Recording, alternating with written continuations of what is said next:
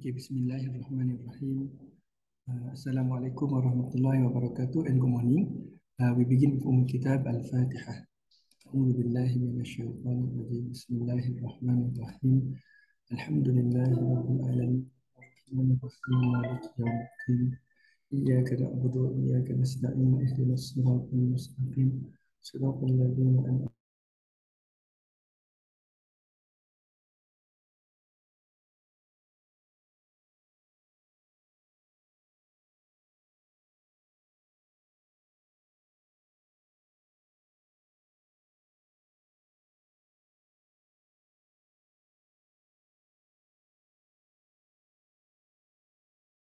Eh.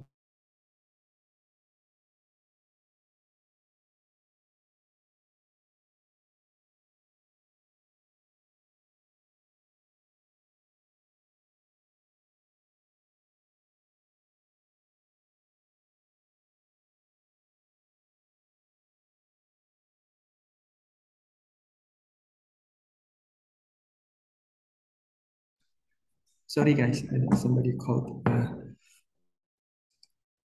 بسم الله الرحمن الرحيم. الحمد لله رب العالمين. والصلاة والسلام على سيد المرسلين وعلى آله وصحبه أجمعين. اللهم افتح علينا فتوح العارفين وارزقنا فهم النبيين. وحفظ المرسلين وإلهام الملائكة المقربين. برحمتك يا أرحم الراحمين. وصلى الله على سيدنا محمد وعلى آله وصحبه وبارك وسلم. والحمد لله رب العالمين.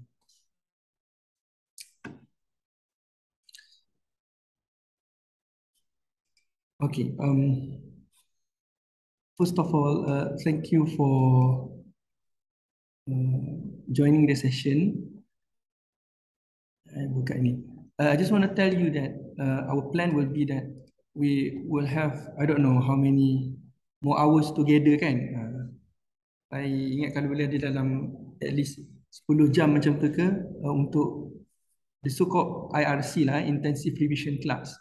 So nanti kita discuss lah macam mana uh, your availability because uh, on my side I really don't want to disturb you because I really think you need your own uh, self study time. But if you are okay then kita ni lah eh, kita cuba uh, buat kelas ni lah. Especially this week kan if I'm not uh, wrong this is supposed to be our final week kan. I harap I tak salah lah. Salah in the sense that sepatutnya dah rehat dah tapi I still ambil masa you. If that's the case let me know eh. Uh, beritahu sir sepatutnya minggu ni dah tak ada kelas. Ah. you kena bagi tahu I? So I uh, I you know I'm, I'm not making that mistake. Number one, number two for IRC, uh, my plan we can discuss, but my plan is uh, to use our so-called revision session ni guys untuk discuss soalan section C je. Soalan section C sahaja. Tetapi uh, for question from OTQ, uh, format which is section A and section B. Kalau you ada soalan I tahu ramai lagi yang I belum jawab soalan tu tapi you, you do the practices on your own attempt your answers like I always said baru tengok jawapan. Kalau tak faham ataupun faham cuma you nak clarification you boleh message I. I'll try my best. I think um, for the next maybe not this week maybe by next week I I can't promise but I hope by then I boleh free my time just to answer questions je. Sebab kelas pun dah tak ada kan? So by then section A and section B you buat soalan you tanya I. So it will be on case by case basis. Bila ada soalan I tanya. Eh, I tanya. Bila ada soalan you tanya I jawab. Macam tu dalam WhatsApp. Dalam group pun boleh. I sebenarnya prefer dalam group kita. Maknanya bila you tanya I explain orang lain boleh benefit sama if you don't mind. Uh, I tak tahu what's in your mind. I harap you tak ada that mindset yang kalau you tanya dalam group nanti kawan you fikir macam alah apalah soalan ni mu nak tanya kan? Jangan macam tu. Jangan fikir macam tu to yourself as though your question is not good dan bila kawan you ada tanya soalan jangan fikir macam tu kat kawan kita. So if we can do that that will be better. That will save a lot of time sebab kita akan fokus our online session macam ni uh, more on session C because it is longer and we need uh, you know better discussion like what we will do today. Okay if you are okay with that then we proceed with that lah kan? Uh, but if you have ideas macam mana macam mana you boleh uh, personally uh, give me opinions lah. Atau dalam group pun boleh. Uh, that, that's the first thing for today lah. Okay tak guys? Is my uh, briefing there uh, clear? Boleh kita sambung ni? Boleh sir. Yeah. Okay, good. Alhamdulillah. Thank you guys. Uh, now, like I told you, sorry, I silap nombor pula. 355, katakan 354. Uh, I think ROI and RI uh, will be one very important question section C ke section AB ke dia uh, agak tricky. Sekejap, nama dia biscuit saja kita tengok sikit. Okay, but let me slowly say this. Uh, of course, you know that there are plenty of questions dalam PRK. It will not be beneficial unless you attempt them. Uh, memang kena attempt as much as possible. Please do that. Um, apa yang nak kata tadi eh? Uh, saya dah tak ingat dah. Tak apa. okay, anyway. Oh, salah dah. Forgot that. Ah, okay, now I ingat. Bila kita ada limited question to do together tau. Limited questions to do together. What that means adalah uh, you jangan terlalu fokus kepada the specific question that we do. Maknanya contoh hari ni eh, saya tunjuk dekat you eh.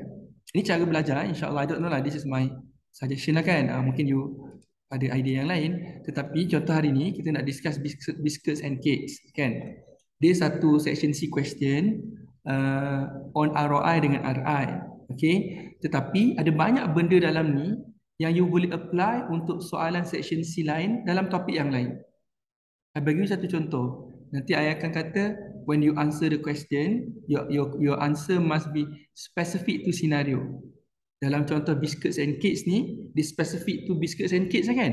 Tapi that idea that universal idea yang dalam exam you kena jawab specific to scenario boleh tak you, you guna that idea tu dalam soalan yang lain? Boleh. You buat mana-mana soalan pun lepas ni you go through one by one kan? Section C question tu you go through one by one you akan dapati benda tu memang applicable. Itu maksud I. Faham kan maknanya? Katakanlah ada 100 soalan. Kita buat 10 je soalan tapi benda yang dalam 10 soalan tu boleh apply dekat 90 soalan yang lain juga. I nak you fokus pada benda tu. Fokus pada benda yang boleh digunakan dekat tempat lain. Sebenarnya sebenarnya, sebenarnya lecturer itu yang kami kena buat. Itu yang I faham lah in, in the teaching profession to help you gain something that is applicable to any question. So on your side sebagai student pun you cuba tangkap benda tu. Antaranya apa? Tadilah when you answer make it specific to scenario and along the way I akan bagi tahu lagi benda lain eh. Okay, I hope you guys are ready. I don't want to waste more time. Ini pun lambat. Uh, dah 10.51 kan? First thing first. Okay.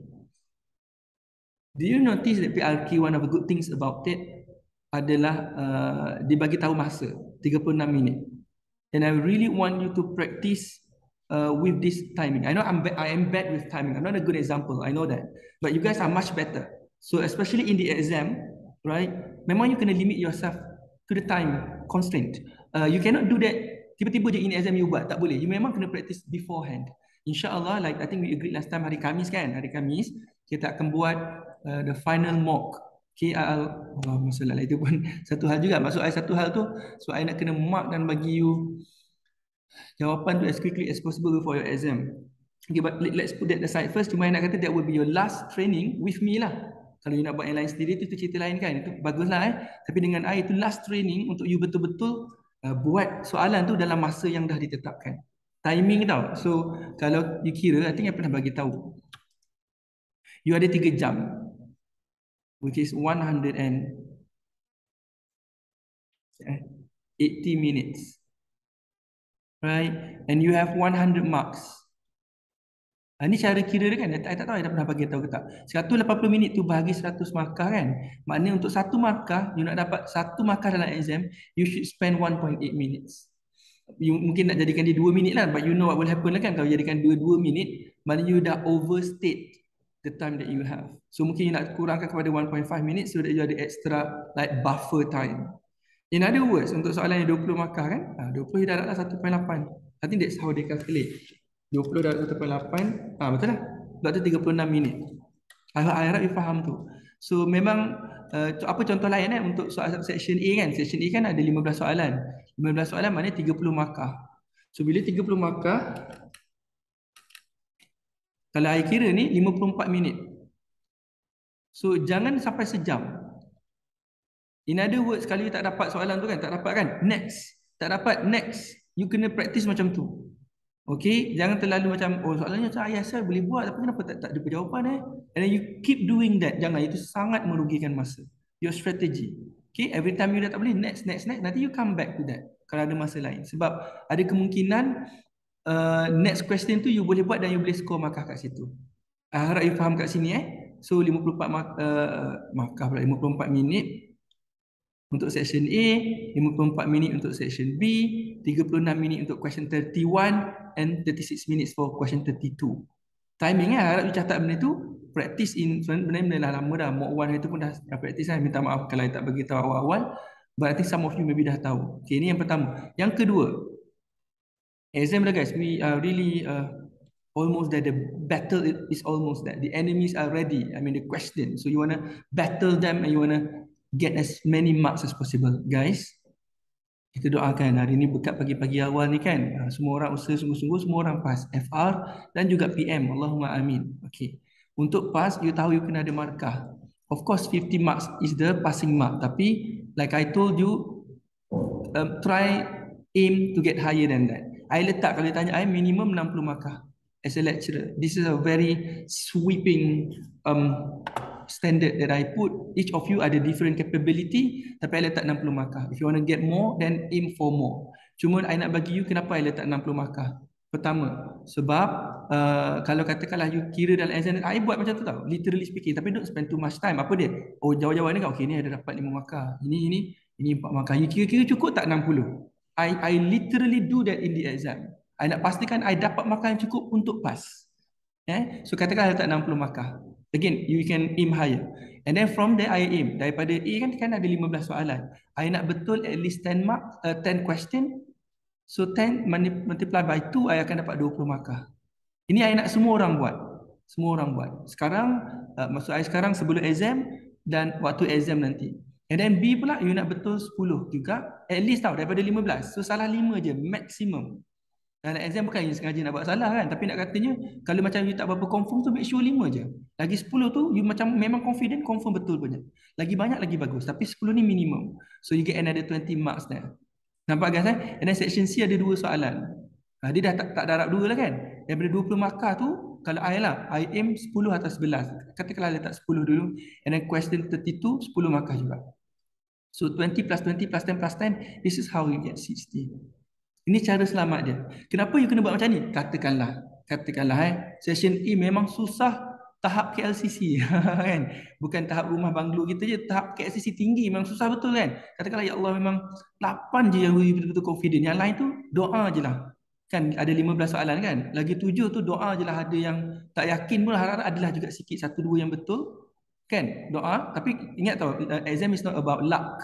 Of course, at the end of the day, kita tawakal, kita bergantung pada Allah. Tetapi jangan, you know, rely on luck. We rely on Allah, but at the same time, make sure you find at least katakan 8 kan. Okay. Maknanya nak, nak, nak kata apa ni? Biasanya kalau A susah, mungkin B senang sikit. Ha, boleh je jadi dua-dua susah. Cuma nak kata, kalau dah tahu sini 8 ni kan, tambah kat sini jadi 12. Ini tujuan target tu. Target yang you buat tu supaya you boleh adjust. Ataupun alamak, ini pun 8 juga. So, katakan A dengan B memang susah-susah sangat, maybe C dia bagi senang sikit. So you you nak naikkan kat sini ni mungkin dapat 12, ni mungkin boleh dapat 12. I hope you faham maksud I ni. At the end of the day, of course tak boleh rancang ni je.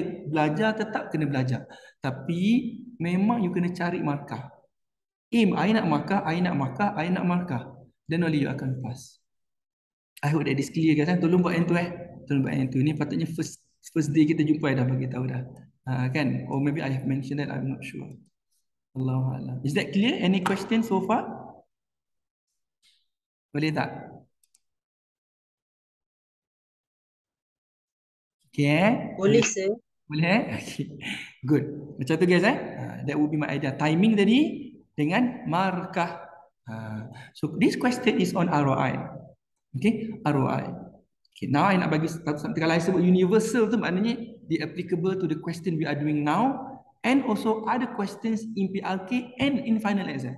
Apa dia? Number one mesti ada easy marks. Mesti, confirm. Apa maksud easy marks? You kena score yang tu. Sebab dia memang, dia okay, I, I share dengan you kan, kalau you follow my, I tak post lagi dekat LinkedIn kan.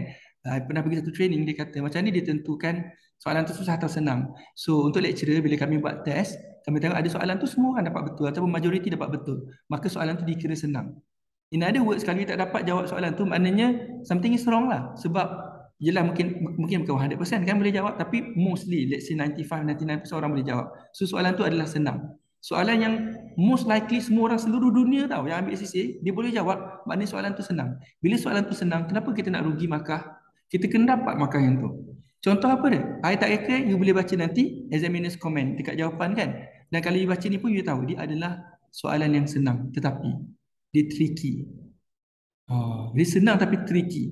Maknanya apa? Boleh jadi you salah. Nanti saya akan tunjuk dekat mana tempatnya. So kita kena be careful eh. Now, uh, assuming this is already an exam. So you tengok oh ini soalan 31 contoh kan. So you see there are uh, question A, question B. Yeah, I go to the next one. Question C. And then do you notice that there is question D and E? If I were you, I akan baca sampai C dulu. You know why? Because uh, question D and ni dia ada tambah maklumat baru kan. Uh, so nanti ni strategi juga takut kita terlalu stress kan yang mock one tu insyaAllah sebenarnya lama dah nak record um, tutorial to answer them. Saya dah bagi answer scheme, saya tak rasa itu cukup. Tapi you guys are good insyaAllah you boleh baca kan. Cuma nanti saya akan explain juga insyaAllah. Cuma yang nak kata, uh, jangan takut dengan soalan yang panjang. Bila you buka exam kan, ya Allah panjangnya. Kadang-kadang soalan yang panjang itulah macam hari itu relevant costing kan banyak bendanya. Yang ada dua dua apa? Dua south southwest apalah kan dia punya nama tu kan yang relevant costing tu. Ni nak ambil uh, kontrak yang mana kan uh, south dengan north tu. Bagi I lah soalan tu panjang. Kalau I pun I macam terkejut. Jadi panik tau jadi panik uh, tapi cool je buat sikit-sikit sikit. Itu nanti I'll come back to that. Sama juga di sini satu lagi strategi. Kalau sebelum soalan tu ada maklumat yang baru ni my opinion lah I tak akan baca lagi sebab dia dia nanti akan berdasarkan this new information ni so kalau you baca semua dia jadi macam berkecamuk kepala kita kan so tak payah tinggalkan dulu baca sampai C je I hope that is clear. Eh? So kita baca A, B and C. Baru kita baca senario dia. Okay, itu strategi tau. Okay, now. Dia quiet. Dia kata apa? Calculate the expected annualized ROI. So bila baca macam ni dalam exam nanti kan, dia tahu lah oh soalan soal ROI. Nah, terus apa yang you dah revise tu, dia ingat balik kan. ROI ni, first and foremost, apa dia guys? Dia adalah dalam chapter divisional performance. So di pasal division. Kan ada tiga dalam divisional performance.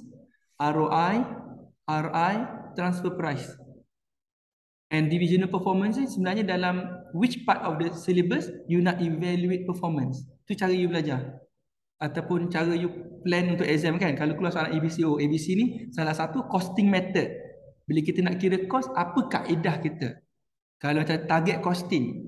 Uh, what how do you calculate the cost? Oh, selling price first, then minus margin, then you get target cost. Kalau throughput accounting, macam mana cara kira dia?